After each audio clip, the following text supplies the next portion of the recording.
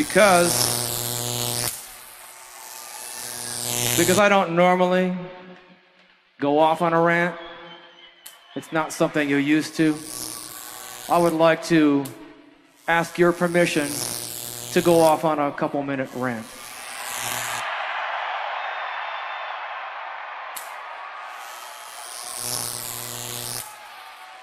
Today, right now, somewhere in the world, someone is peacefully giving everything they have for somebody else.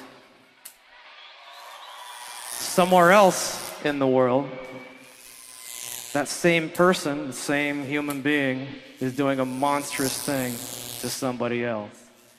It seems to be that's the way of the universe. I don't know if there's any way to fix it. Yesterday was the eight year anniversary Robert Miller, who gave his life for his friend who's here tonight, Nick.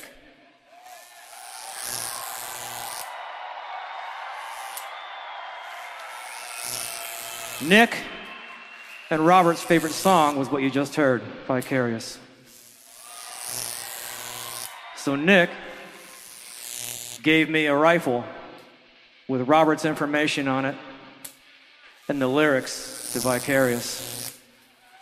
The universe is hostile and impersonal. I posted that photo and I got a lot of shit for it from a bunch of people who didn't really recognize the sacrifice that Robert had made and the gesture that I was making, thanking Nick for that rifle.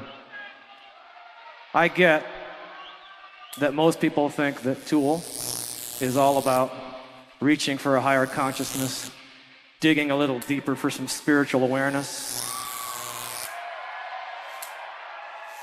and that maybe posting that photo had something to do with endorsing the military industrial complex or something silly. I'm not making any claims either way. However, I do acknowledge that some people were upset. This is not an apology at fucking all.